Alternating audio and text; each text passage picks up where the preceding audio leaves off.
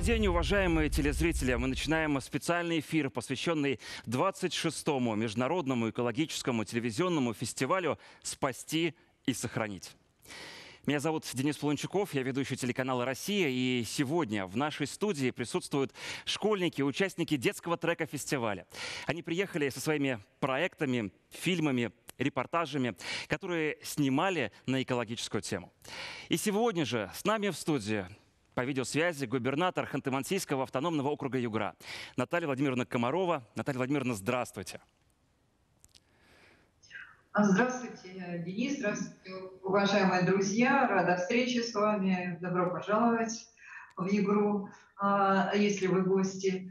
А, мы всегда рады, особенно а, тем из людей, которые а, целенаправленно, проектно, с таким увлечением, талантом а, занимается вопросами охраны окружающей среды.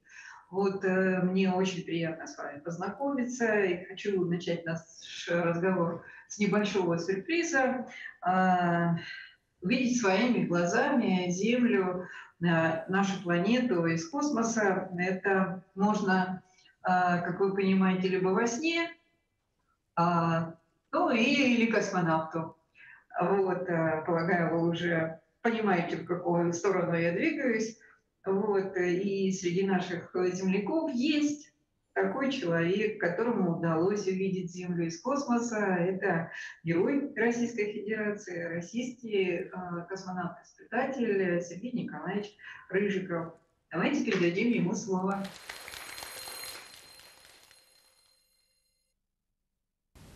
Дорогие ребята, участники 26-го Международного телевизионного экологического фестиваля «Спасти и сохранить». Сердечно приветствую вас из Центра подготовки космонавтов. Дважды побывав в космосе, провел на орбите Земли 358 суток. И выполняя задачи экспедиции на околоземной орбите МКС, приходилось много времени уделять наблюдению Земли из иллюминаторов станции. И хочу вам сказать, что наша планета удивительна и прекрасна синие океаны, горные хребты, степи, пустыни и леса – все это богатство в руках человека. И в наших силах все это сберечь. Вы, юные участники фестиваля, делаете очень взрослое дело. Пытаетесь разбудить в сердцах своих зрителей ответственность за окружающий мир и любовь ко всему живому на Земле. Выбор профессии – дело будущего. Но уже сейчас понятно, что ваше неравнодушное отношение к природе – поможет оставаться хорошим человеком и в жизни, и в профессиональной деятельности. Будьте смелыми, активными, инициативными, защищайте Землю, оберегайте жизнь. Успехов вам в вашем благородном деле. Космонавт Роскосмоса Сергей Рыжиков.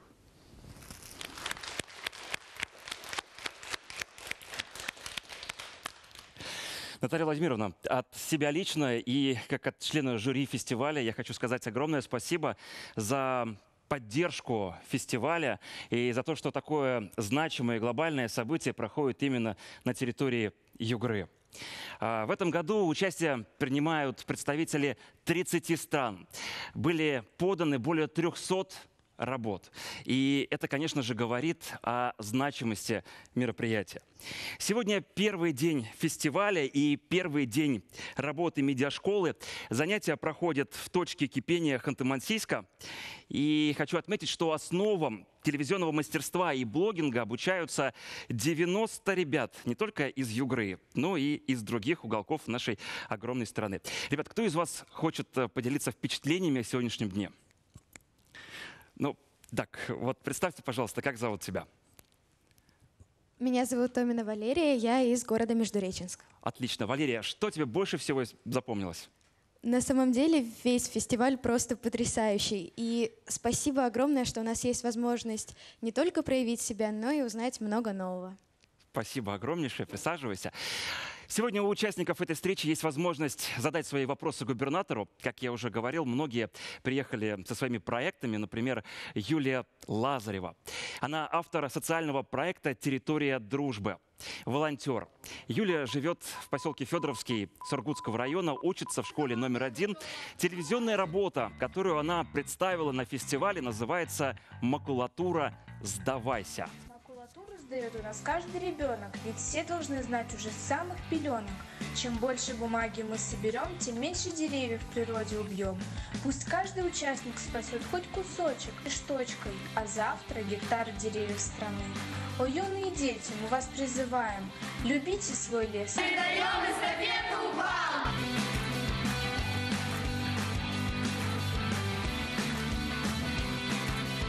Юля, приветствую. Здравствуйте. И твоя возможность задать вопрос. Наталья Владимировна хотела бы задать вопрос, какие экологические темы есть в вашем ежедневнике и когда последний раз вам э, предоставлялась возможность э, и когда последний раз э, вы Не волнуйся, все, давайте поддержим.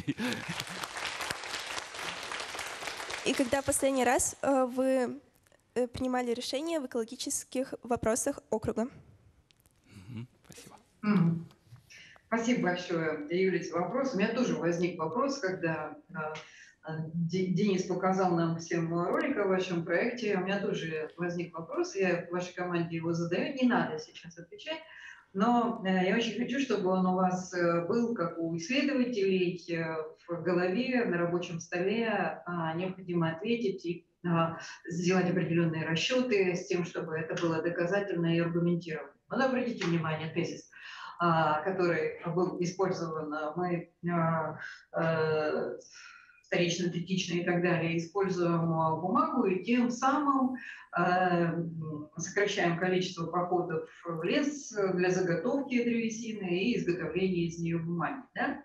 А еще было одно направление – замена а, бумаги какими-то там, пластиками, еще какими-то а, созданными уже человеком а, возможностей, ну, например, для упаковки и так далее. А, а в то же время мы понимаем, что, ну, например, с точки зрения утилизации бумаги, это а, более безопасный процесс, чем а, утилизация пластика.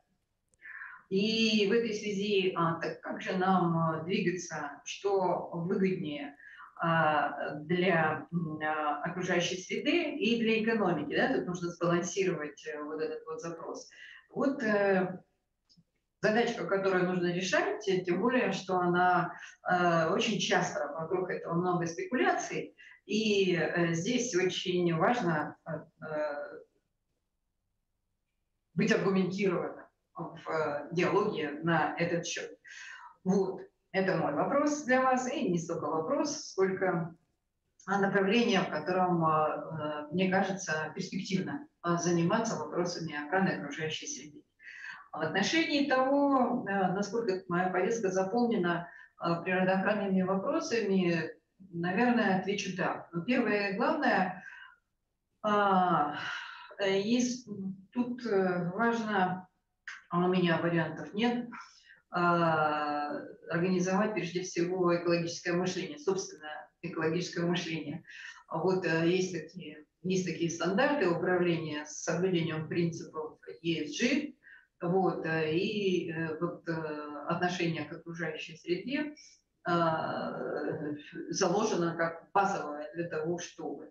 То есть каждое конкретное дело, событие и решение должно проверяться, тестироваться на а, соответствие его экологическим стандартам. Да? Но вот э, у нас регион с э, очень высокой экономической активности, и а, делом мы занимаемся из тех, которые требуют а, колоссального напряжения для того, чтобы обеспечить экологические стандарты, международные экологические стандарты, потому что мы с вами в большинстве своем занимаемся добычей нефти и газа, а здесь, чтобы быть представленным на рынке, нужно а, соблюдать и этим стандартам в том числе. И поэтому мы с вами занимаемся вопросами ликвидации шлам, шламовых амбаров, а, не допускать не- нефтезагрязнения или, если допущено, то ликвидировать их. А, Мы сделали очень много все вместе для того, чтобы сократить количество факелов а, на месторождениях. И сейчас а, почти 96% утилизируется попутного нефтяного газа, что соответствует всем международным стандартам. Ну, мы с вами охраняем леса. Сейчас леса пожарный период наступил, и нам очень важно не допустить возгорания. Если это произошло, там, максимально короткие сроки локализовать пожары, э, потушить их и тем самым минимизировать э, ущерб, э, который в данном случае может быть нанесен э, э, лесным насаждением в нашем регионе. Вы знаете, что мы оказываем помощь э, техникой и специалистами другим регионам в этом вопросе, например, сейчас в Красноярском крае, э, Иркутской области, до этого Курганской области, Тюменской области. Это наше общее дело, это люди всей планеты. А у нас больше 50% э, от 540 тысяч квадратных километров занимают леса, поэтому у нас такая еще э, глубокая э, ответственность перед планетой за вот, чистоту наших легких.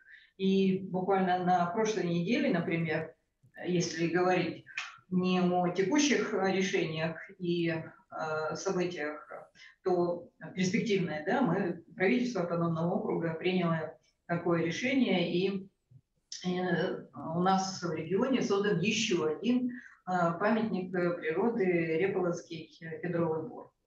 И э, я прошу иметь это в виду.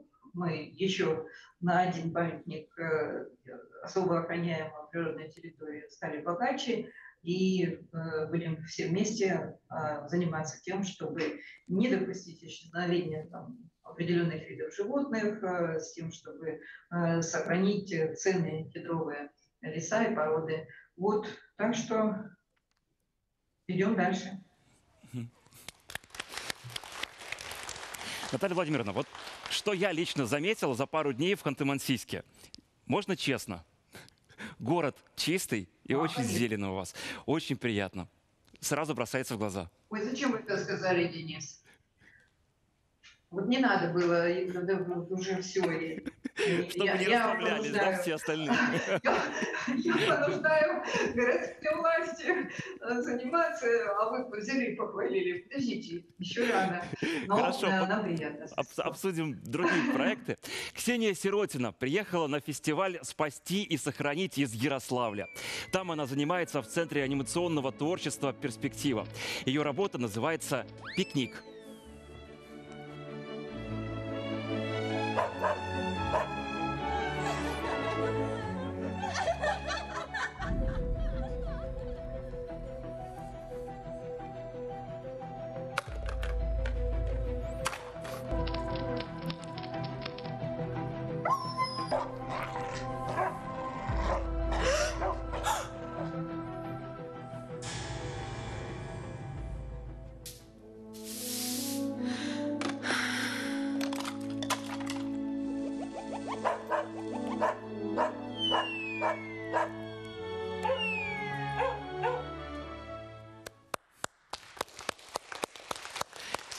Ксения, привет.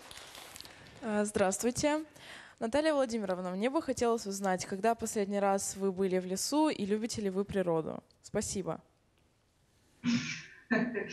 Ну вот, я только что пыталась э, это доказать, но вот про последний раз, э, надеюсь, не последний, а в лесу это начало мая. А в этом году я была в лесу и э, э, очень, очень рада этому обстоятельству, ну, по крайней мере, до сих пор э, пользуюсь теми ощущениями, которые, хорошими, радостными ощущениями, которые получила от этой встречи с лесом, с местными жителями, например, белки там, так или иначе, пересекали нашу дорогу. Так что вот так.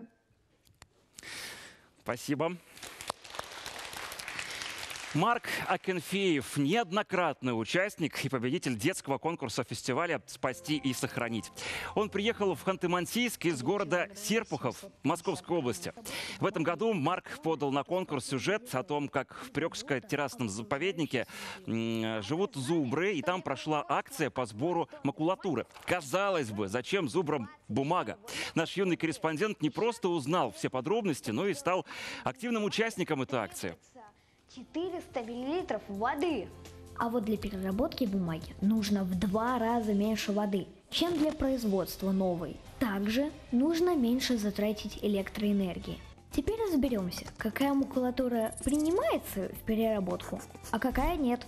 Картон, книги, журналы, газеты. Марк, А, Привет. Здравствуйте. А, Я бы хотел спросить, какая самая большая экологическая проблема а, сейчас существует в Югре и как вы видите ее решение? Спасибо. какой серьезный, не детский Спасибо вопрос. большое. Да, вообще это, ну, мы, мы- мы взрослые знаем, что самые трудные вопросы это детские. Но вот э, сейчас э, Денис э, нам это и демонстрирует, э, наши юные э, коллеги в данном случае. Я каждого из вас поздравляю с завершением проекта, представления его на конкурс. и Желаю вам всяческих успехов. А, ну вот, Марк, кроме тех вопросов, о которых я говорила выше, вы понимаете, да, какую они э, долю, насколько они капитализированные, да, капи- капиталоемкие, э, насколько они глубоко влияют на состояние окружающей среды, уже упомянула, а, но сейчас, поскольку у вас проект э, про нас, про людей, а, об обороте макулатуры, и э, в данном случае ответственность именно каждого человека а, играет большую роль. Ну, упомяну об обращении с твердыми коммунальными отходами. Это, ну, я не скажу, что это проблема, я скажу, что это задача, и не только для нашего региона, для всех э, людей на планете. Вот э, в нашем случае это тоже. Мы сейчас э, проектно тоже занимаемся этой тематикой. А, Мы решили создать пять межмуниципальных полигонов, где будут сосредоточены самые крупные поставщики твердых коммунальных отходов. И одновременно с захоронением выставляем на этих площадках линии по переработке э, отходов, ну, таких как макулатура, таких как э, пластик, э, стекло, э, я не знаю, различные такого, различные такие отходы, которые так или иначе можно второй, третий, двадцать пятый раз использовать. И здесь очень важно э, задачка, в этой задаче еще одно направление, но я считаю его базовым, да, это раздельный сбор э, мусора. А, Признаюсь, что мы здесь еще успеха большого не добились, потому что здесь нужно большую организационную работу провести а, для того, чтобы создать условия, для того, чтобы сформировалась культура у людей э, для такого рода подхода к э, своей жизнедеятельности. И вот, э, но тем не менее, шаг за шагом мы а, работаем над э, решением этих э, задач. Вот, э, вот в добавлении к тому, о чем я сказала чуть выше, то, чем целенаправленно и проектно мы занимаемся в э, нашем регионе. Спасибо. Вот то, что, Наталья Владимировна, вот то, что ребята задают такие серьезные вопросы, еще раз подчеркивает, что они все приехали в Ханты-Мансийск не случайно. Они занимаются проблемами экологии. Я думаю, что через несколько лет они станут хорошими экспертами в этой области. Елизавета Сухно учится в седьмом классе гимназии лаборатория Салахова в Сургуте. Интересуется журналистикой и уже два года занимается по программе дополнительного образования «Основы операторского искусства в гимназии». В 2022 году стала призером всероссийского конкурса «Планета. Наше достояние». Ее телеисследование «Носки на картоне» заявлено в номинацию «Я эколог» детского конкурса фестиваля «Спасти и сохранить». Лиза размышляет о неразумном потреблении древесины и ищет пути выхода из сложившейся ситуации. в квадрате. К началу 21 века человек уничтожил 50% площади лесов, ранее существовавших на планете. Елизавета. Здравствуйте, Наталья Владимировна. Мне интересно, чем вы гордитесь больше всего как житель Югры? Чем, чем гордиться, правильно? Да, чем гордитесь? Да-да-да, я услышала, э, я услышала, э, борюсь э, с собой, э, как э, человек православный, понимаю, что гордыня – это грех. Вот, и в то же время понимаю, о чем на самом деле спрашивала Елизавета, и, наверное, отвечу так. Э, Кстати, этому правилу меня научил один из моих учителей. Я очень рада и горжусь успехами каждого югорчанина. Вот, и как говорил мой один учитель, а при вас я в почете. Вот, наверное, из этого будем исходить. Вами я горжусь.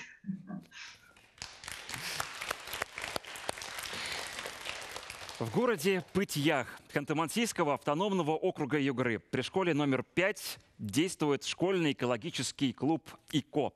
У ребят из клуба появился вопрос, может ли быть экология плохой.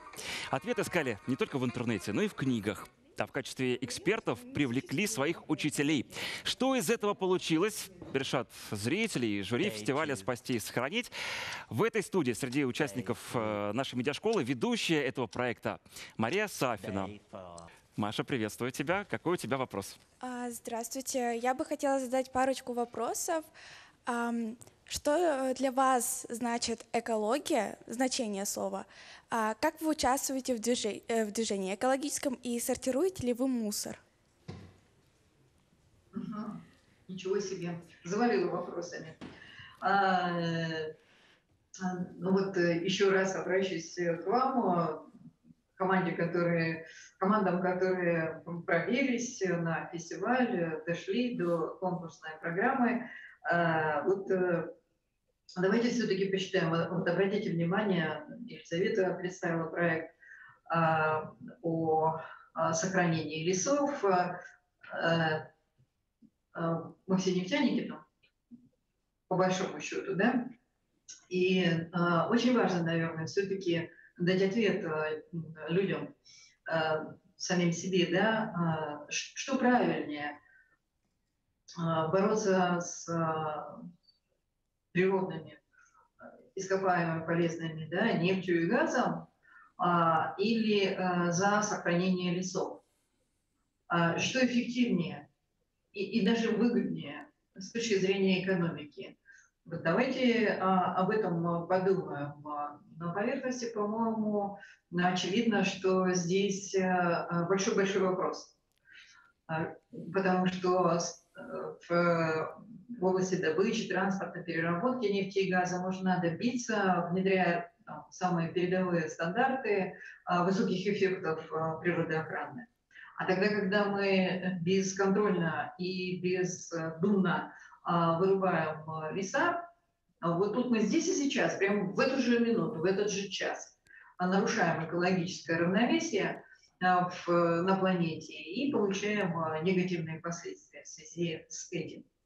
В отношении вашего вопроса, что такое экология, тут мне мудрить не придется, и смысла в этом нет, я не собираюсь переделывать этот, это представление людей об этом предмете. Это наука, и этим все сказано.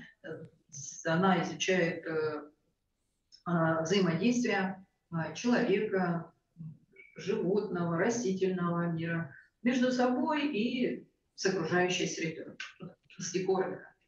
Вот. Э, и вот, э, вот это определение э, термина экология, наук, как науки соответствующие, оно и влечет всю ответственность каждого из нас за окружающий мир. Я с уважением отношусь к участникам экологического движения. Но э, в то же время а, считаю, что это ну, очень неправильно и э, абсолютно двойные стандарты, ну а по сути ложь, а, тогда, когда активных участников экологического движения используют э, в каких-то соревнованиях экономических, еще каких-либо, которые тогда, когда в борьбе за здоровую окружающую среду, мы выходим, доходим, люди на планете доходят до боевых действий, значит, я считаю это, конечно, крайне неправильным. И э, очень прошу каждого из вас, вашей активной жизненной позиции, э, вот, разделять э, все эти вопросы и ни в коем случае не создавать повода и возможности вами манипулировать э, участниками э, экологического движения. А считаю себя тоже таким участником. Вот, э, исходя из разговора, который мы сложили чуть выше, надеюсь, вы меня поддержите в этом самосознании. Вот. э, Ну и в отношении третьего тезиса, э, который вы предложили мы- мне обсудить, э, занимаясь, вернее, раздельно ли я э, обращаюсь э, с твердыми коммунальными отходами. Да, там, где есть эта возможность, я, конечно, придерживаюсь этих правил. А возвращаясь к началу нашего разговора, поэтому считаю крайне важным создать условия а, для людей. Потому что если мы с вами разложим по пакетикам а, жидкие отходы, пластик, э, э, стекло и так далее, а контейнер не предназначен для этого, и мы сбросим все это, или, например, контейнеры предназначены, разделены, а машина, которая увозит э, твердые коммунальные отходы, будет одна, общая на все эти 4, 3, 5 видов контейнеров. Вопрос о том, сколько нужно сделать работы и как это должно э, разложиться у нас у каждого в голове. Вот. И потом, когда мы на полигон привозим, а, например, все нам удалось, и до полигона мы везем уже разделенные на какие-то фракции твердые коммунальные отходы, а там все сваливаем в кучу, снова здорово, все усилия а, полностью дезавуалированы, дискредитированы даже, можно так сказать. Поэтому важно, чтобы на полигоне нас встретили следующий этап э, использования разделенных э, твердых коммунальных отходов. Ну вот так как-то. Спасибо большое за вопрос. Владислав Скрипников живет в Москве. Свою анимационную работу под названием «Новая жизнь» он и его друзья представили в номинации «Поиски и находки». Герои мультфильма живут в сказочном мире, где уже все научились правильно разделять мусор. Их пример, кстати, очень поучителен.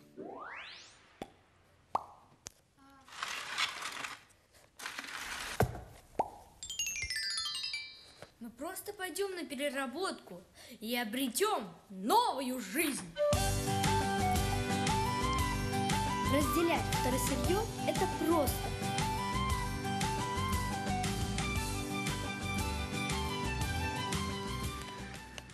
Владислав, приветствую. Я так понимаю, ты, наверное, у нас самый юный участник фестиваля. Сколько тебе лет? Мне 10 лет. 10 лет. И уже занимаешься вопросами экологии. Давайте поаплодируем нашему самому юному участнику. И, пожалуйста, твой вопрос Наталье Владимировне Комаровой. А как вы думаете, что вы умеете делать лучше всего? Ничего себе, Владислав. Ну, раз, раз такой откровенный разговор пошел, то я скажу, ничего я не могу делать лучше всего или лучше всех других. Э, Многому всему нужно учиться, и каждый раз, э, за что не возьмешься, ты понимаешь, что еще бы нужно поучиться, еще бы э, важно было посмотреть, как это сделает мастер. Вот. э, Ну, а если э, немножко а, пошутить на этот счет, э, то, например, в моей семье считают, что из всех женщин э, борщ варю лучше всех я. Ну, вот так.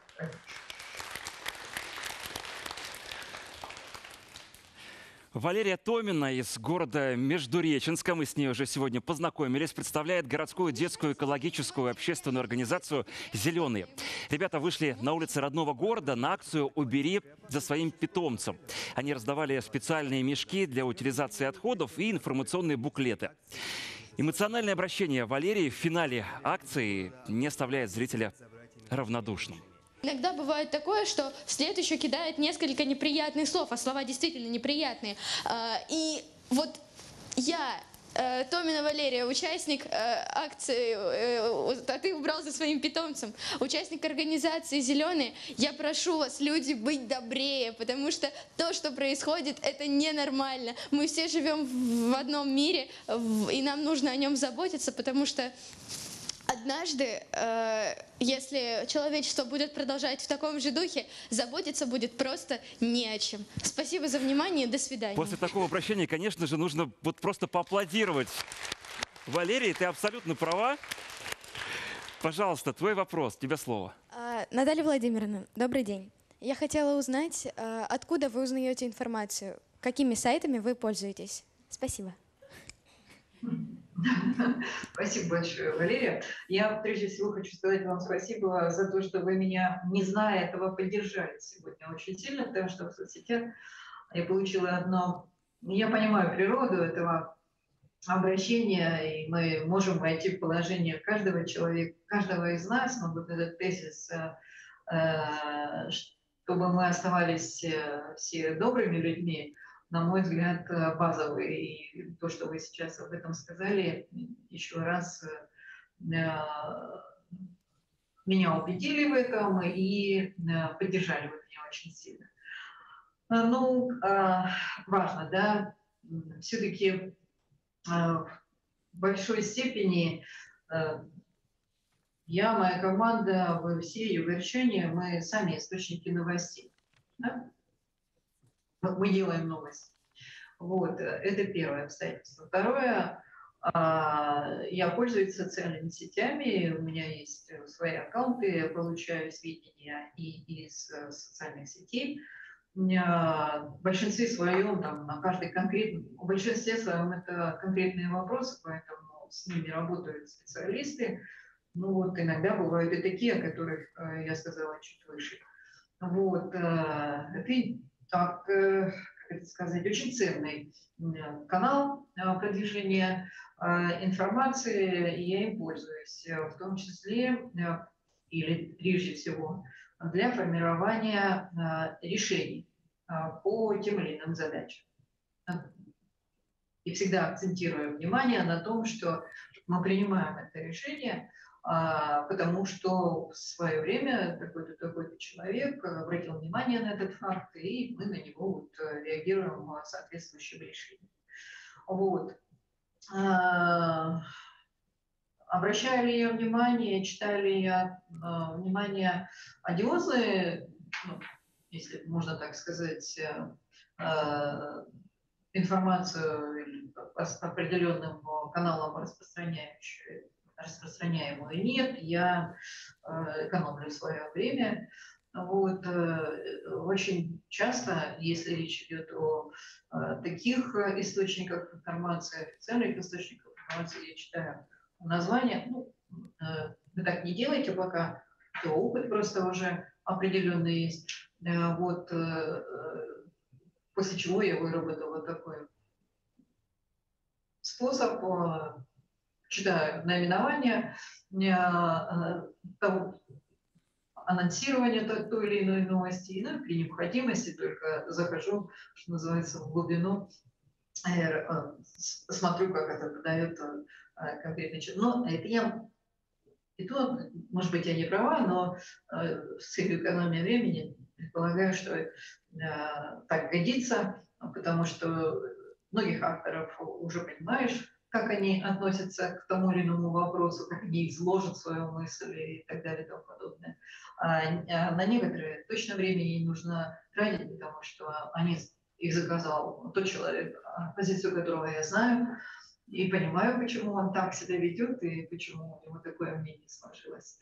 Вот, э, поэтому мне очень важна э, достоверная информация от э, людей, оценки тех или иных фактов решений от людей. Я это глубоко и серьезно использую в своей работе в принятии мною управленческих решений и формировании собственной позиции. Вот такой комментарий. Спасибо.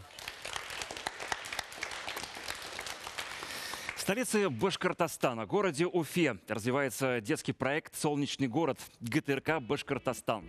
Алиса Козлова сегодня в Ханты-Мансийске среди участников фестиваля «Спасти и сохранить». Ребята из Уфы вышли на уборку города, а свой репортаж об этом событии назвали «Разноцветный субботник». А что вам потом эти фишки дают? Зачем вам э, мы получаем за них призы. То есть эти фишки получается за каждый пакет, да?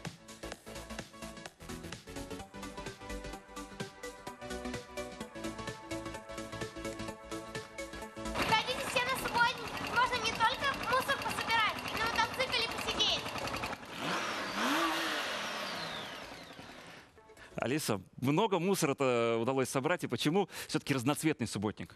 Здравствуйте. Мусора было очень много, пришло много желающих, куча народа. Э, Пакеты мы обменивали на, Фишки. получается, фишки, а эти фишки уже на призы. Э, Субботник называется разноцветным, потому что каждый человек был одет очень ярко, чтобы было удобнее друг друга подмечать. И все получилось очень ярко, весело и красиво. И самое главное, это было доброе и полезное дело. Конечно. Давайте поаплодируем за этот проект. Алиса, твой вопрос Наталье Владимировне. Вот мне было интересно, на какие вы оценки учились в школе и какова была ваша успеваемость. Спасибо. Спасибо большое, Алиса. А, Я хорошо училась в школе, не была отличницей, но а, хорошисткой. Вот, э, ну, до а, начальной школы отличница, затем хорошистка. И институт я тоже закончила хорошо. Вот, э, поэтому, кроме, ну, кроме того, что я училась э, хорошо, не нервируя родителей, не подводя наставников и учителей. Э, Я так же, как и вы, э, достаточно активным человеком была, э, с активной жизненной позицией. И Я была старостой, я была командиром АО школьного отряда «Зорница», комсоргом и так далее и тому подобное. Поэтому с детских лет приходилось очень много а, раз задавать себе вопросы относительно того, что это перед тобой, какой мир, твой мир, вот, э, и а, принимать решения двигаться дальше.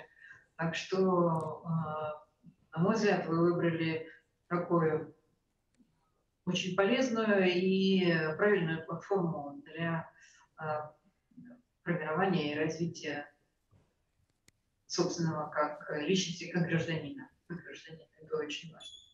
А вот и мне тоже интересно, Алиса, а почему мотоцикл? У вас там а, видео было.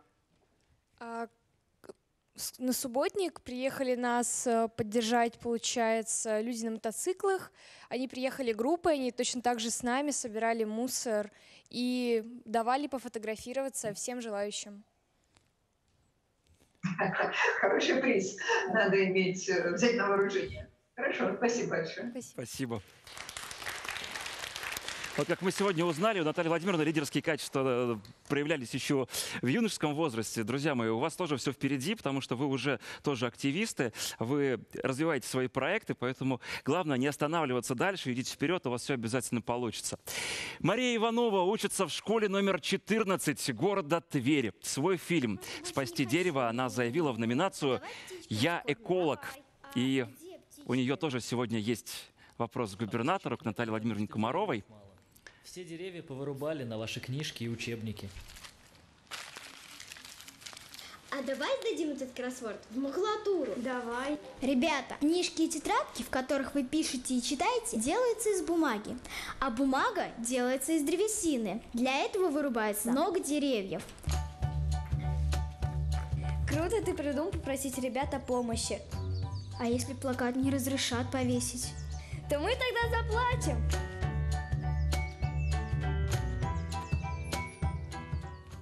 Скажи, пожалуйста, а что вы сделали потом с этой макулатурой, которую собрали? Мы сдали ее э, в макулатуру, э, чтобы не тратилось так много бумаги. Молодец. И твой Э, вопрос. Наталья Владимировна, я хотела задать вам вопрос. Были бы у вас детские моменты, любимые и нелюбимые? А, Например, приведите, пожалуйста. Ну вот какие у тебя были любимые и нелюбимые моменты в детстве? Ну, например, э, упасть в канал перед друзьями, споткнуться об забор.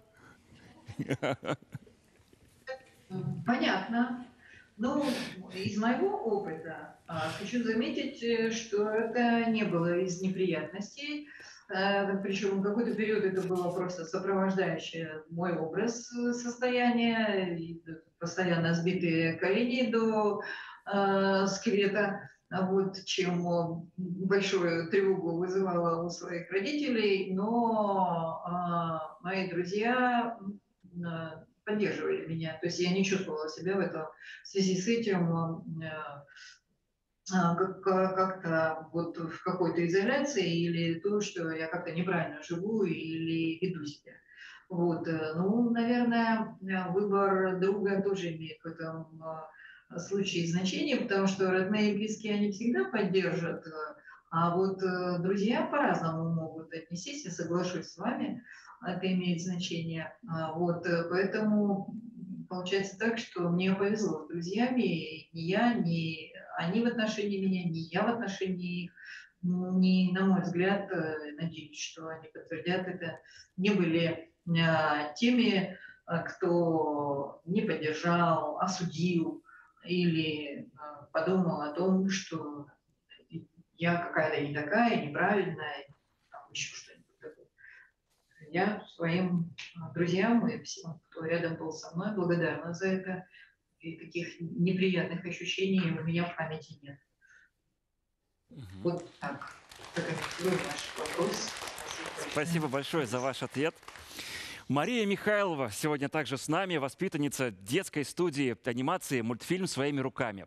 Она живет в городе Луга Ленинградской области. Свой анимационный фильм «Чистое завтра» Маша называет социальным.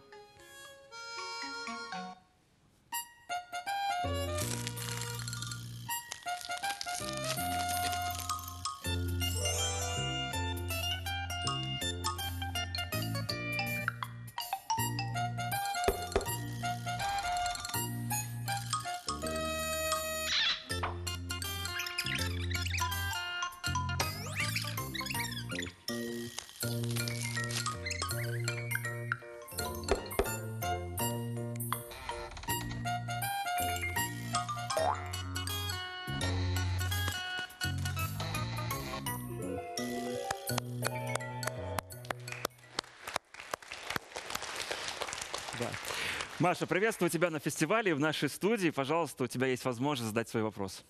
Здравствуйте, Наталья Владимировна. Мне хотелось бы узнать, что для вас является э, показателем хорошо выполненного дела. Какие критерии? Как вы оцениваете, хорошо вот получилось или не очень хорошо? Ну, если вы думаете, что каждый раз взвешиваю то, что происходит вокруг меня, то справедливости ради замечу, что нет, конечно. Но вот вы задали этот вопрос, э, я возвращаюсь к э, этим ощущениям э, в своей там, трудовой, гражданской жизни. И, ну, наверное, чтобы пригодилось. Вот, вот тогда хорошо когда ты правильное решение принял, и тогда ты а, не ошибся. Вот, э, ну, не самому любоваться, да, вот как замечательно я там что-то сделал, да, а чтобы люди сказали о том, что, об этом, да, что да, это пригодилось. А может быть, даже не сказали, скорее всего, не сказали, ну, у меня такая работа, что э, сделал что-нибудь, тебе говорят, спасибо большое, там, вот э, поругать, да, это быстрее реакция идет. Вот, э, но а, тут просто очевидно, там, а, на пользу или не на пользу, пригодилось, не пригодилось, взяли люди или а, не смогли взять, или отказались как ненужное решение и возможность для них. Вот полагаю, что так. Спасибо. Новый год в волшебном лесу. Соленые ножки, чулочки. Это фильмография Анастасии Дубровиной из города Сланцы. Она уже 4 года занимается в студии «Совенок» при средней общеобразовательной школе номер 3 и стала автором нескольких произведений. Фильм, который участвует в детском конкурсе фестиваля в этом году, называется «Авоська». Это фильм «Призыв». Его главная мысль – «Авоська лучше, чем пакет».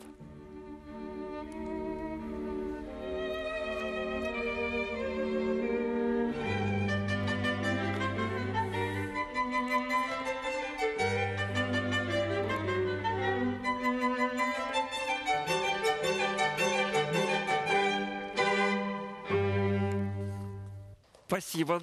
Аплодисменты ваши, Анастасия. Настя, скажи, пожалуйста, так все-таки чем же авоська лучше, чем пакет? Авоська, она является более экологичной, чем пакет, так как пакет разлагается очень долго. Ну, правильно, авоську взял и постоянно ходишь с ним в магазин.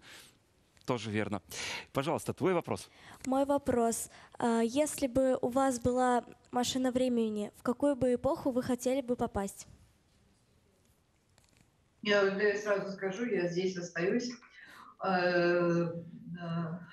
потому что во всех других временах и событиях мы с вами знаем из книг, и из э, других источников и памятников э, о том или ином событии или э, времени и людях. А, а, э, здесь и сейчас э, мы сами его создаем. Э, На мой взгляд, это существенно интереснее. Вот, э, и э, это наш мир. И поэтому я остаюсь здесь и сейчас.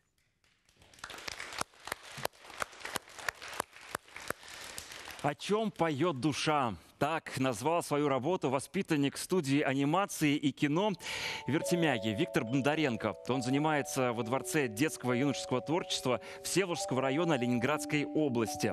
Закончил восьмой класс, увлекается телевидением с первого класса. В своем резюме указал, что снялся в игровом фильме «Прозрение» и снял цикл репортажей о зоне отдыха «Сторожевая гора» под названием «Бери и отдавай».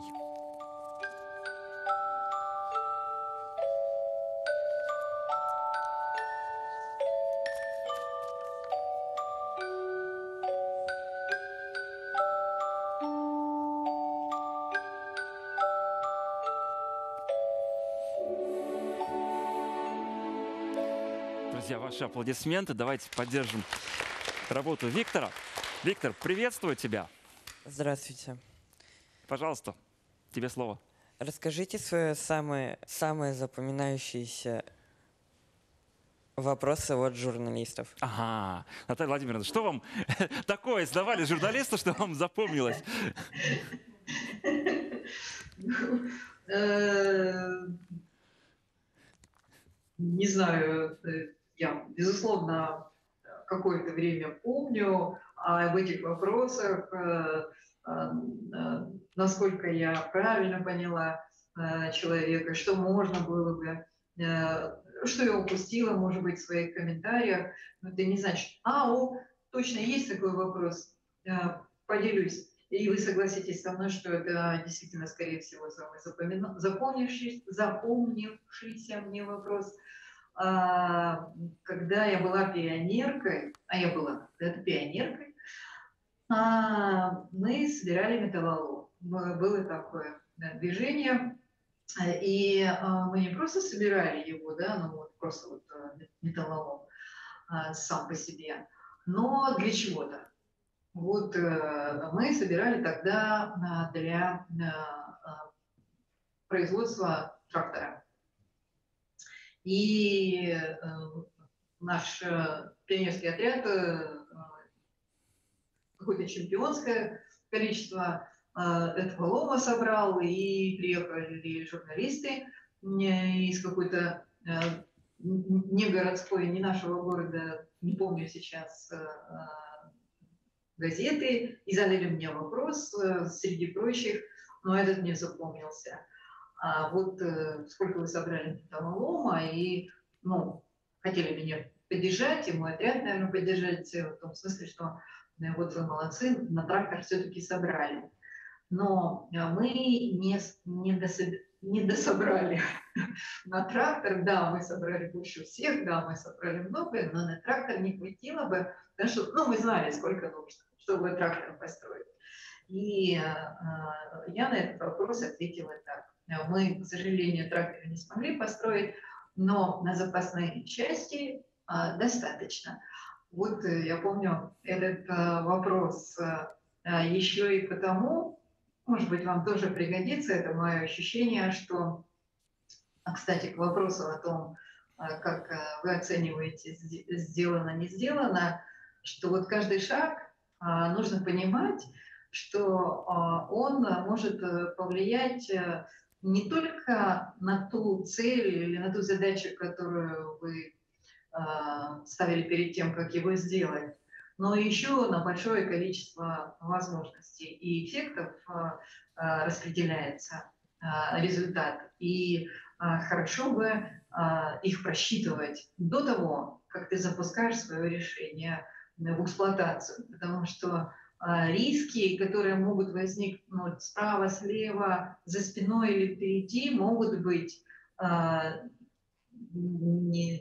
негативными и понизить эффект твоего решения, или напротив, существенно усилить то, что ты задумал. Ну вот, э, видите, вспомнила и сам вопрос, и ответ мой, комментарий, и, э, может быть, это как-то даже повлияло на мое отношение к работе. Спасибо вам большое. Спасибо. Савелий Петров приехал к нам из Нижневартовска. Он пятиклассник. Представил в номинацию «Поиски и находки» познавательный видеоклип, в котором сыграл главную роль. Его герой – человек, который не соблюдает правил поведения, чем наносит вред природе. Но во сне он видит, каким может стать мир вокруг, и в нем просыпается совесть. Его поведение меняется. Савелий меняет свои привычки и заботится о природе, становится экосознательным человеком.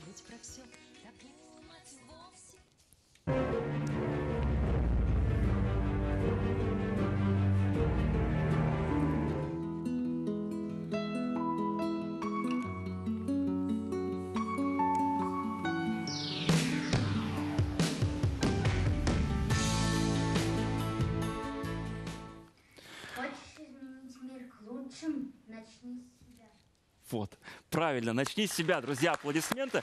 Вот из такого мальчиша-плохиша вырос сознательного гражданина. Савелий, приветствую тебя.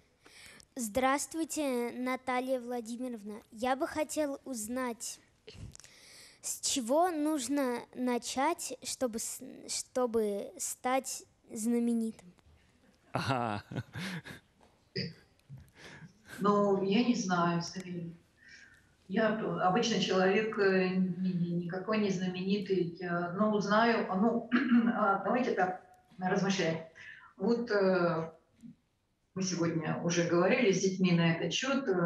Вот э, я знаю такого писателя Александра Фадеев. Он а, знаменитый человек, да? Ну, потому что мы говорили, молодой гвардии то он, он знаменитый человек. Значит, э, нужно написать э, книгу, которая полюбит огромное количество людей и которая э, своей любовью даст э, дань уважения э, этому писателю. Или вот сегодня мы с вами познакомились, многие из вас познакомились, я давно знакома, э, с Сергеем Рыжиковым, да, героем России, летчиком-космонавтом.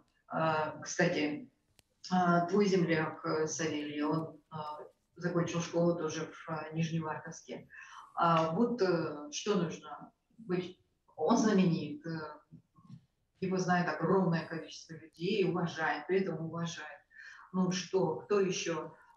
Спортсмены, вот недавно закончились Олимпийские игры в Пекине, и среди них наши земляки, в том числе из Нижневартовска, кстати сказать, ну, вспомним Максима, например, Храмцова, да, который стал чемпионом Олимпийских игр, первым э, чемпионом а, от Российской Федерации. В, э, он хэквондо а, чемпион и так далее. Ну, то есть вот, э, наверное, как-то так, что-то сделать для людей из того, что крайне важно, и сделать это лучше, чем другие, и поэтому стать Э, знаменитым.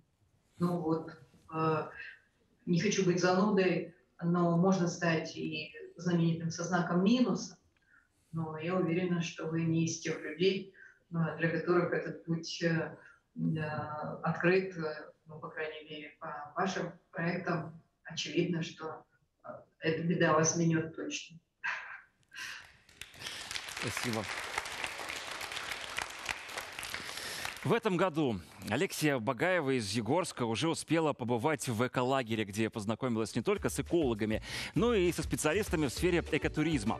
Она, несмотря на свой юный возраст, уже опытный телевизионщик. На 26-м фестивале «Спасти и сохранить» Алексия в этот раз в роли ведущей программы «Умникум». Слоган этой программы «Умникум. Мы за экологию». Жизнь эко! Бьется колокол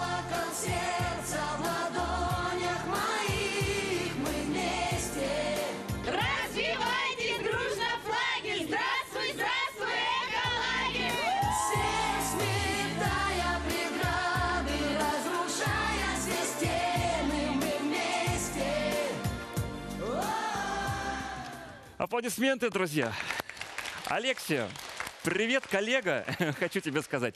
Пожалуйста, и твой вопрос. Здравствуйте, Наталья Владимировна. У меня такой вопрос. Какая самая любимая у вас точка на нашей Земле? Ух ты! А, ну, там, где э, я живу и для которой э, я что-то могу сделать. Наверное, так.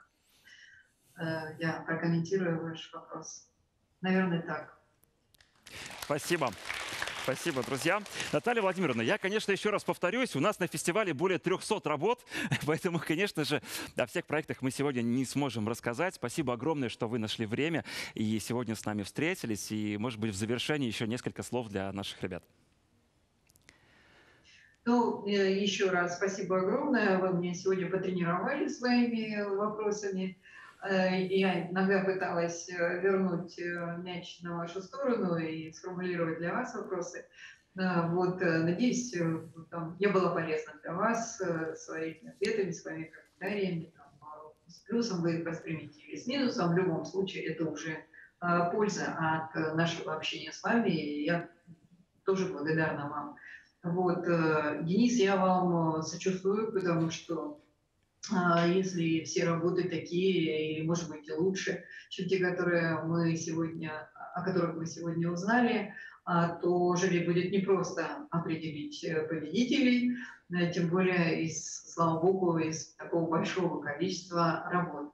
Вот, э, поэтому вам успехов и, э, э, как это, и максимальной справедливости, и максимальной справедливости, а, несмотря ни на что. И э, в завершение, дорогие друзья, хотела передать для вас э, э, небольшой подарок, исходя из того, что окружающая среда – это такой оркестр, э, ну, надо признать, э, что гениальный, состоящий из гениальных музыкантов, вы исполняющих гениальную а, музыку.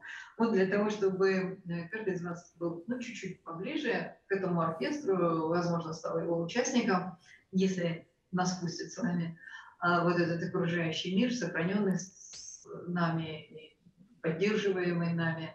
А, Кормушка для птиц, э, когда они с благодарностью будут э, петь, исполнять свою партию в оркестре, полагаю, вы вместе с ними уже станете участниками этого оркестра. Вот так. Спасибо вам большое. Спасибо вам, какой замечательный экологический подарок. И я думаю, что для некоторых э, птичек, которые проживают не только в Ханты-Мансийском автономном округе, но и в других регионах нашей страны, откуда приехали ребята, у них э, появятся такие, может быть, небольшие, но свои маленькие деревянные домики. Спасибо, Наталья Владимировна, вам за время, за встречу. Ребята, еще раз хочу к вам обратиться, что вне зависимости от того, кто победит в нашем фестивале, вы все огромные молодцы, вы все уже победители. Я вам желаю удачи, а, новых побед обязательно. Добивайтесь, растите, становитесь лучшими, ведь вы будущее нашей страны. И обязательно, обязательно берегите нашу природу.